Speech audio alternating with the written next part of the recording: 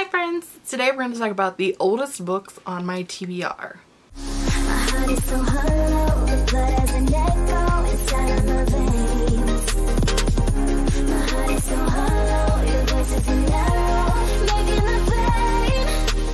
So, if you're not new, you know that I have an extensive TBR and I have been on booktube since 2017. I have a lot of books that have been recommended to me or that I've picked up over the years because of booktube. But today we'll be talking about five books on my shelves that I picked up prior to starting booktube. So these books are books that I hold prior to 2017 when I started my channel. Now, I really only had five books, like legitimately only had five books.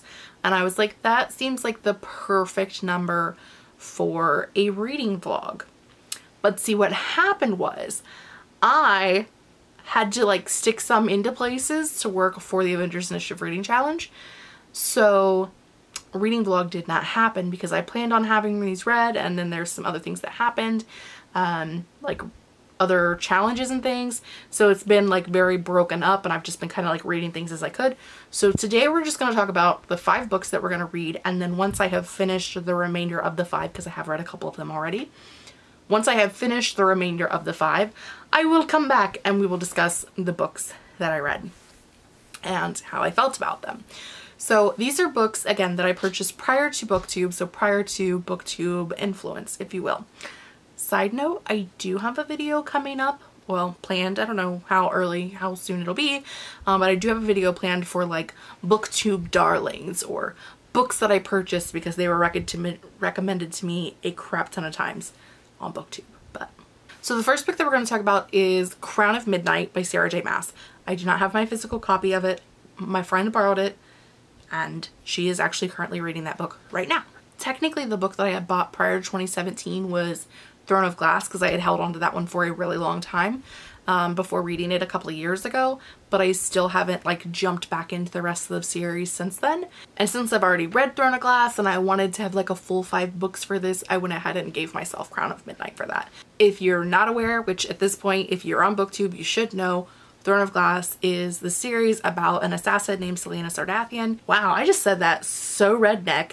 My Southern Ohio accent just came right on out, y'all. Follows an assassin named Celaena Sardothien and the book starts out with her being in this labor camp where she is abused and mistreated and all of these horrible things that happen to her. The captain the king's guard comes and takes her away from there. And he's like we're gonna take you to the castle and you're gonna be in this challenge and you're gonna fight to be the king's assassin. And if you become the king's assassin you kind of get some freedom but also not kind of really. And the book follows her trying to meet these trials to become the king's assassin so that she can have some freedom so that she can gain back some things from what she had lost. It's a whole thing.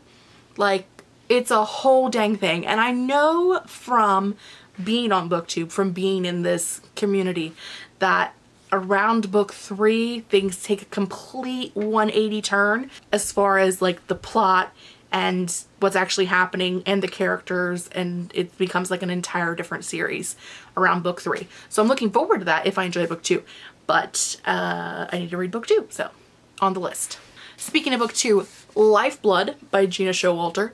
So this is part of the Everlife novels. The world building in this series is really good. I really enjoy it. So our main character Ten, she has an obsession with numbers and you often find her counting um, 0 to 10 um, throughout the entire book. And she has been placed in this basically an insane asylum or a place um, against her will as a teenager because she refuses to choose a afterlife. So in this world, you have your human life and then once you die you pledge your afterlife to either Myriad or I believe the other one is Troika. I think it's Myriad and Troika. I could be wrong. But they're basically these two afterlife factions that are at war. And it's well known to everybody. The Myriad and Troika people like come to like they go out, they're kind of like salespeople. They're kind of like Jehovah's Witnesses. They come to your house, they try to convince you to pledge to be on their side.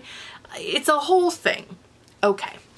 So she has refused to choose the side that her father wants her to choose. So they put her in this insane asylum trying to break her down so that they can make her choose what they want her to choose and then she breaks out of the asylum. And it's a whole thing where she's like going on this battle and she's trying to pick a side and she's got two friends. It's kind of a love triangle kind of not. One's on each side. She's got some friends that she's trying to save and then some friends that have died and she's trying to convince people to join different sides and she's trying to decide what side she wants to be on. And it's a whole dang thing. The world building in this is glorious. The characters yeah I think I read the first book of this in 2016 and then purchased the second book. We're in 2021. The ending of the first book made me very not want to pick up this book because I know what the trope is going to be in here and I know that it's not a trope that I enjoy. But I'm going to give it a shot and if I like it, I like it and if I don't, it gets to go off my shelves forever. Either way, I win. Now we'll talk about the one that I already read because I technically read it in June. That is The Stranger Game by Cylin Busby. So this book was a really good and I will link my review for it down below if you want to know. Um, all of the reviews for all of these will be linked down below. Just I haven't read them yet except for this one so it's future past me telling future me to make sure that you link the things down below so that future you, except it's current you, can look at the things Anyway, so this book follows Nico, who her sister, her older sister Sarah, has been terrible to her basically her entire life. She's a snot-nosed, bratty little bitch. And she treats Nico like shit. And Sarah goes missing. And it's been four years. And she comes back. And Nico kind of thinks that this Sarah, that there's something wrong with her. And maybe it's not Sarah because of the way that she treats Nico. She's actually nice to Nico. Who imagined? Who imagined? Who could imagine? Something like that. And then, so this book basically follows Nico trying to discover what actually happened to Sarah and if this new Sarah is Sarah. And the interesting thing is that you get both Nico's perspective as well as some of Sarah's perspective. And it starts out one way and ends another way and you're not going to see what's happening to Sarah happen. It was a wild ride, y'all. And this is a very short book. Um, it's like 260 pages, 280, 280 pages. It's a wild ride. Highly recommend. We then have The Host by Stephenie Meyer. I have not read this clearly, which is why we're here. I have read the first Twilight novel, DNF'd the second. Um, but I liked this movie and a lot of my friends have read this book and enjoyed it. So I'm gonna give it a shot. This is more sci-fi. It follows a girl whose body is taken over by an alien species and when most of the world, that has happened to most of the world already, and most people when the alien species takes over their body, they have no control and they have no thoughts. But this girl does have the thoughts, and so her and the mind control thing, like, she's trying to convince that thing to get out of her brain. It's a whole thing. There's like a romance, and there, it's. Have you seen the movie? And then finally, we have It Ends With Us by Colleen Hoover. I won this book on Facebook. It is signed. Ta-da! So I won this uh, a while ago. This was before I'd read any of Colleen's work. I have read some of it since then, but I haven't read this one. Why did I get this one and win it and then purchase others of her books and not read this one yet? I don't know. So I'm going to give this one a shot and see what happens. Again, if I love it, I love it. If I don't like it, I can DNF it and get it off on my shelves forever. Either way, it's a win for me. So these are four of the five books that we will be reading and when I have finished reading them all, I'll come back and join you and we can discuss them.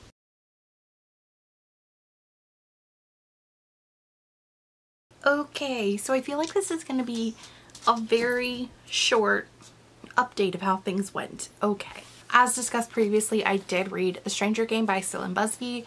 I did enjoy this. I think it's a really interesting mystery and I do highly recommend it. Crown of Midnight, I ended up giving a 3.25 out of 5 stars. I did really enjoy it. I think the biggest issue for me was pacing. I think that because this book was originally part of what was written as like a by the chapter story on the internet, that it I don't know how much of the story was changed from one version to the other. I do know that there were changes made, but I feel like the pacing is a little off and I, it's probably because plot points are similar as far as what was at one point and what was at the other. So I feel like the plot points make the pacing be off a little, but as far as the book itself goes, I did really enjoy it. I think that it was a very good book. Um, I know that that's like kind of a low rating, but I mean, that's, it, it was enjoyable. I had a good time. I will definitely be continuing on with the series. I know that the next book is kind of where things take a drastic turn as far as like the plot and the themes of the book. Um, but I did actually enjoy it and there are several characters that I do enjoy so I want to continue on with that. We're going to talk about It Ends With Us next. I filmed a whole clip. I don't think I'm going to share it. I think it was kind of cathartic for me in the moment, but I don't know that I want to share it. Side note, I'm puppy sitting for my aunt's three dogs, so if you hear grumbling in the background, it's the two wiener dogs fighting on the couch. I don't know if this is going to be considered a soft DNF or a hard DNF. I'm not sure. I am going to hold on to this in case I do at some point feel like I can handle the content. I feel like this book definitely should have had a content warning. Um, it does deal a lot with spousal abuse and being a child growing up in that type of world. And because that was a similar thing to my childhood this was not it didn't bring out good emotions in me let's put it that way. Um, you know reading books that are based in your own trauma probably not a good idea and I did read the author's note, which is what really killed me. So I read like the first 70 mm-hmm. pages and I kind of had an idea of where it was going. And because I am who I am, I decided to look up like some synopsis online to kind of see if the plot went in the direction that I thought it was going to go. And it did. And I knew that that's not something that I can do. So again, wish it had had some content warnings, but you get what you get. I, I 100% respect Colleen for writing this and for um, telling a story that does absolutely need to be told. And I think if you can handle the content that is in this book, then it would be a good book for you. What I read was well written and seemed like it was going to be a good story, but I'm this content is not for me. I actually picked both these up last month, so this this whole thing is kind of ruined by the fact that I read these over two months, three months. So if you watched my wrap up, you already know, but I DNF'd the host um, around page 80. I don't like the relationship in this. Um, there's just, it, it's, I'm not vibing with it. Um, the girl's like 16, her love interest is in his mid to late 20s, and she's basically forcing herself on him and he's like but no you're too young for me. And she's like but I don't really care because the world's ended. And he's like nah I'm not interested. Um, like we just met three weeks ago and she's like but really I want to have sex with you. And look the dude said no like three times. You need to stop pushing. And so I respect a man who in an age position tells the girl no but DNF'd this and I also DNF'd Lifeblood by Gena Showalter. I read like a third of this. I don't know how much of this I read. Not a whole lot. Probably not even a third. Probably not even a quarter. Probably not even very much at all. I knew that this had that trope that I hate, which is the lovers on opposite sides of a war thing and they're being kept apart by magic. And she wants to save the world not so that she can save the world but save the world so that she can like have sex with this dude because they're magically kept apart. They can't touch each other. And I have problems with these types of um, plot devices in books especially in YA um, and I knew that going into this book which is why it's been like five years since I picked it up and have been putting off reading it and I'm just, I'm just not here for it. So I DNF'd this as well. So that's all five books. I read two that I liked. Um, one was like a, this content's not for me, and two I DNF'd. And as I said, you know, earlier in the video, the important thing for me is that these books have been on my shelves the longest of anything that I've had. These were books that I bought prior to booktube influence and I really just needed to get them off my shelves. Either read them and enjoy them or try to read them, hate them, DNF. Like things needed to happen. I'm happy that I have done that. Um, I've got some more of these style of videos coming up, but I'm going to try to do them more conducively so that we're not like having them in multiple wrap-ups prior to this video. Yeah, I, I, I uh, didn't get to everything as quickly as I would have liked and I definitely need to plan things out better for the next round and I will do that. I have um, some others that I want to do coming up. I have uh, books I bought because of booktube. I also have about eight series that I own the entire series for. A lot of them are trilogies but some are like actual like multiple book series that I have the whole series for. Um, so I'm going to do some like reading this whole series for the first time. Uh, vlogs as well. Got some things coming up in the future. I know this one was a little all over the place, but I do hope that you enjoyed it. If you have read any of these books and you like them or dislike them, you would like to discuss that, hit me up in the comment section down below because that is why we're here. That is all I have for today. I post reading, writing, book, and planner related videos a couple of times a week. If you don't want to miss anything I have going on in the future, make sure you hit the subscribe button and the notification bell down below. And until then, I'll see you guys next time.